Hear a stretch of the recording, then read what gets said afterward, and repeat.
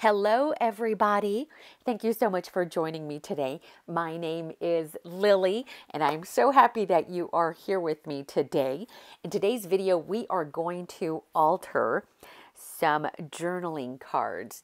And these are cards that I pulled out of my stash.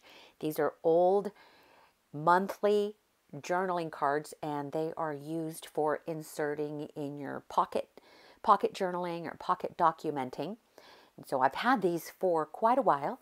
I am shopping my stash and going through all of my supplies, um, just trying to find items that I could use. I've also already pre cut and die cut some fall elements, and um, I did this a couple weeks ago where I wanted to start preparing all of my components and my elements for my junk journals. I'm currently working on three fall junk journals, and I am currently working on fall ephemera. And uh, I've actually just recently posted a whole bunch of videos about all of the fall ephemera that I am creating.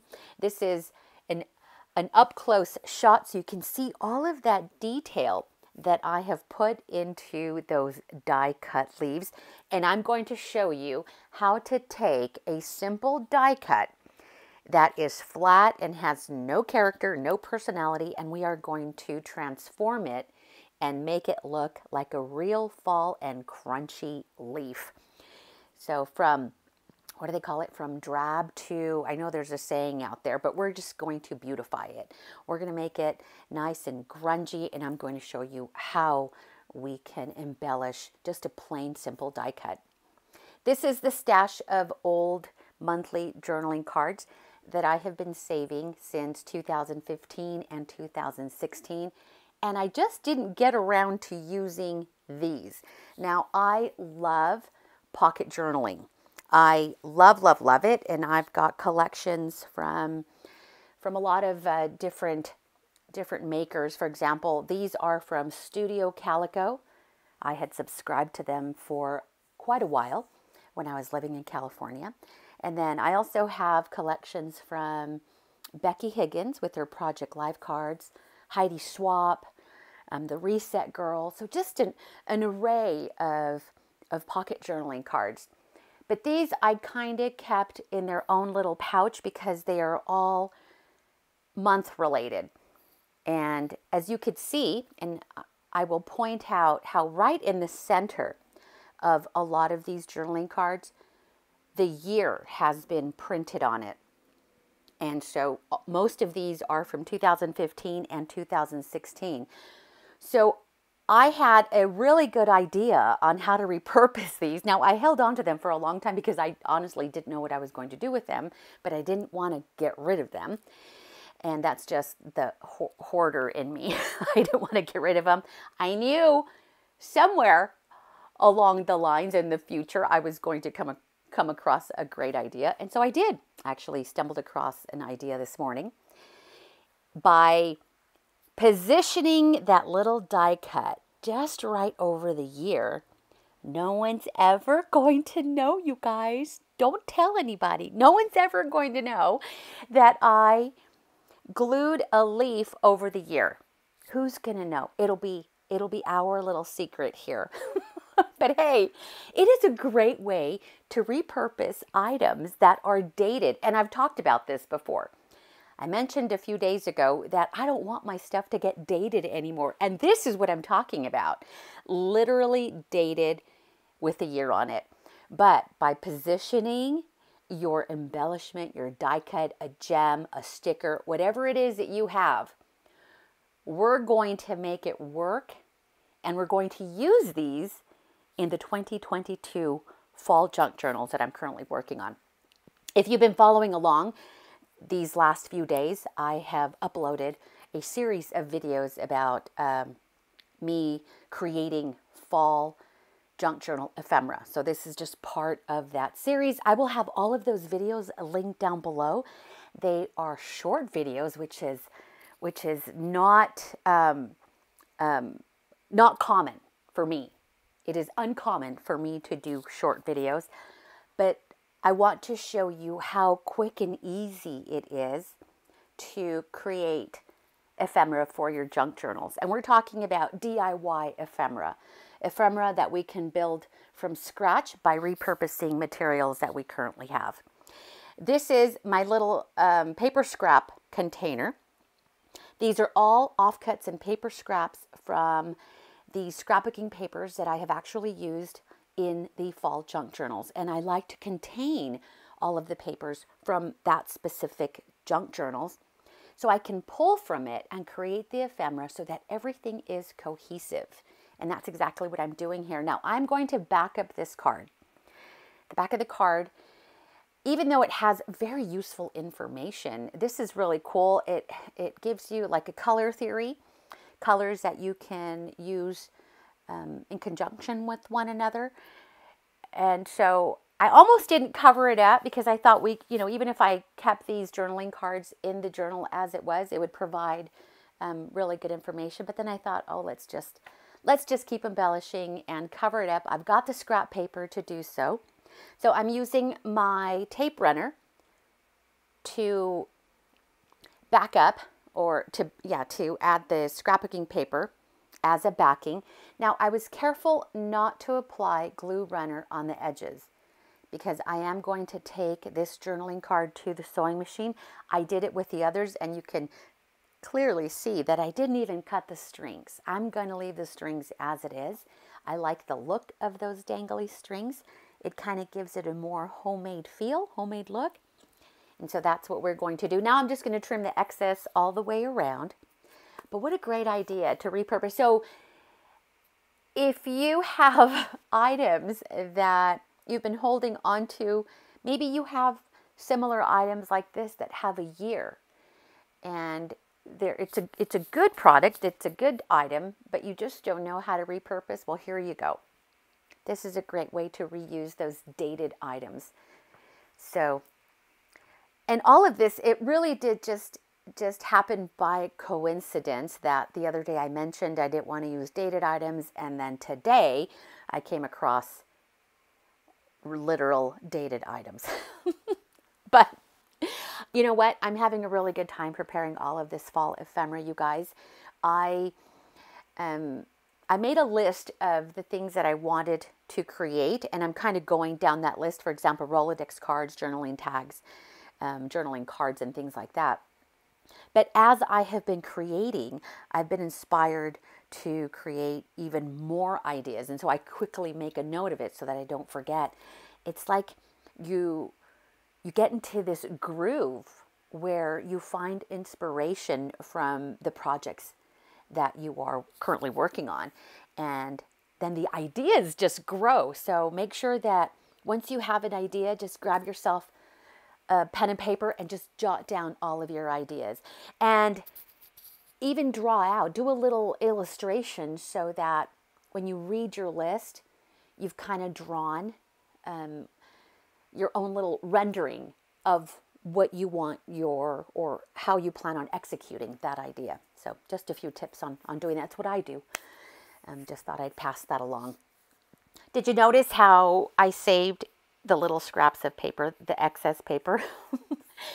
because I also plan on making some clusters with all of those little strips. And so those are not going to waste. They go back into the bin and I will reuse them. So I am distressing. I'm using vintage photo to distress all around the journaling card. And I, I have been using this vintage photo for everything. And in fact, I really need to re-ink it because I have just, I've used it on everything that I have made um, these last few days and I will continue to use it. It actually lives on my desk. I never even put it away. It's one of my go-to products, so we just need to keep it um, refilled so that it doesn't it doesn't dry out. So now I'm going to take it to the sewing machine and I am using a gold thread. It's the front is gold and then the rear is black. I love the glimmer of the gold thread. It is beautiful and it's a nice little detail. And then the back, you could see it, it's kind of grungy and, and all wonky. I do that on purpose.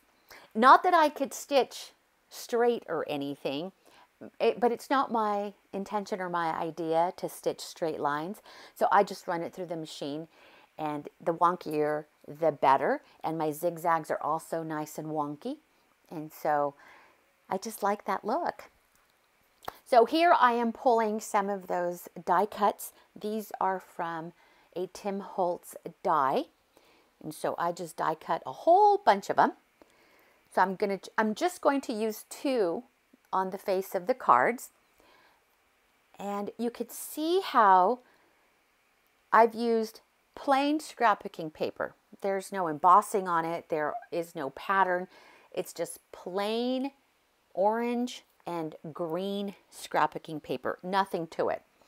Now, you could also use it like this. You don't have to alter, but why not? Let's take something that looks plain and make it look grungy and and tattered. So that's what we are going to do. And here is my um, cellophane bag. I've also been using this uh, packaging cellophane bag to, to create a little puddle of vintage photo. And I'm just going to dip the die cuts right into that little puddle of vintage photo ink that I've watered down with a little bit of of water. And just to give it a little bit of dimension and a little bit of color. I've been using this cellophane bag um, to distress most of the ephemera that I have been working on. And I just keep it on my desk. The ink will eventually dry up, but once I spritz it with a little bit of water, it just comes back to life. And I prefer this than actually using the mat that um, that I that you can see underneath that's actually on my table because I can reuse that little cellophane bag and I can easily lift it from the desk and set it aside where I'm not constantly cleaning my tabletop.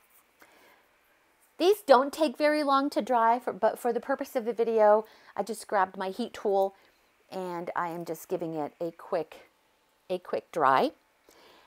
They look great as they are right now with all of that discoloration. But I'm going to go around and I'm going to distress the edges just to kind of emphasize the outer edges of the die cut. And you can see, you can begin to see the transformation. And um, it might be, for some, it might be something that is a little uh, tedious, but after all, we do we do we are here to create, we are here to make things. And believe me, it is worth the effort. All of those all of those little details are appreciated. Now I'm going to take it one step further and I'm going to create I was pointing out to the veining that is in the leaves.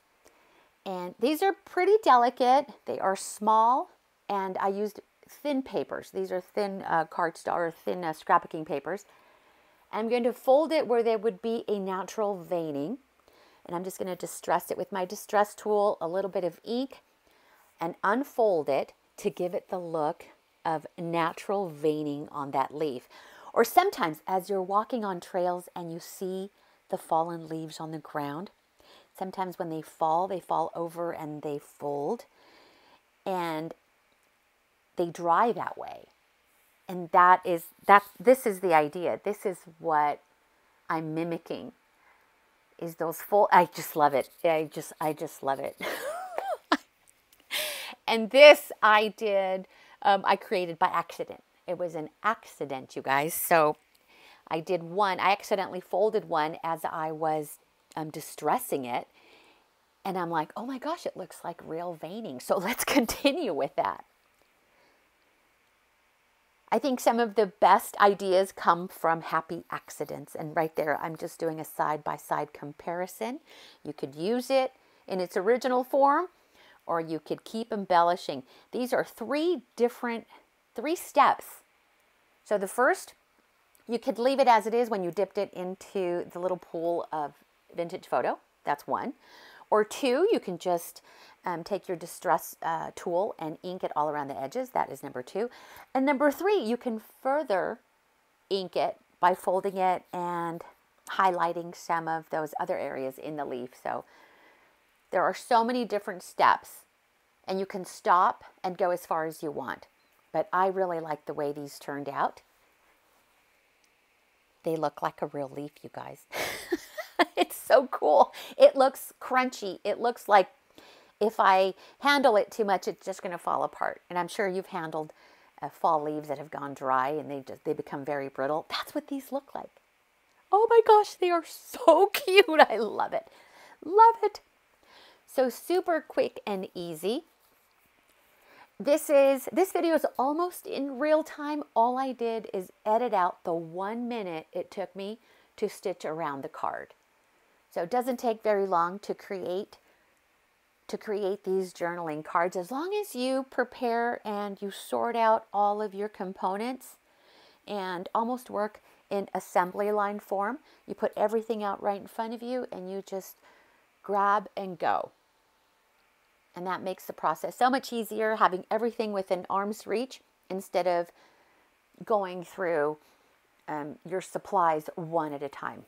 So this just works. It works. It works well for me, and I, I hope that some of these ideas you find useful and you also gain inspiration from from my projects. So do you see how it's like the leaf just fell and landed on October? oh my gosh, it is so cute. What a great way to repurpose these journaling cards. Just love them. And did you see how I had all the other months too? So I'll find new and creative ways to use the other ones. For example, there's January and April and July. So you'll see. You'll see them in the in the near future. I'll have to kind of brainstorm to see what I can do. These leaves almost look as though they are blowing in the wind right over October. So I will include one of these cards in each of the junk journals. I am almost done in preparing all of the ephemera. So then I will just start sprinkling it in the three fall junk journals. And hopefully, fingers crossed, I will have it finished um, in the next few days, maybe by the weekend, and do a flip through for you. But look at how nice those are. That is the November card. I had two, I happen to have two November cards, which is great. That leaf in the upper right hand corner, oh my gosh, that looks so good. And that's the September card. These blew my mind, you guys. I am on a roll. I've got so many ideas and just not enough time. I need more hours in the day. You guys, I kid you not. I create every free minute I have. Every free minute. And if not, I'm writing down ideas. you guys, thank you so much for joining me. I appreciate you so much. Hope you are inspired to create, and I will see you next time. Bye.